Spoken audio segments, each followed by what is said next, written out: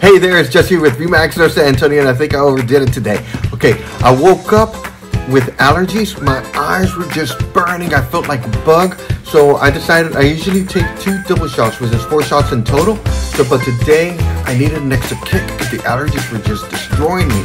So I decided to take an extra shot. And uh, ironically, or one of the things that happened is that I had so much energy that I started annoying the entire family. The dogs were even running away. They're not even wanting to be with me uh, right now.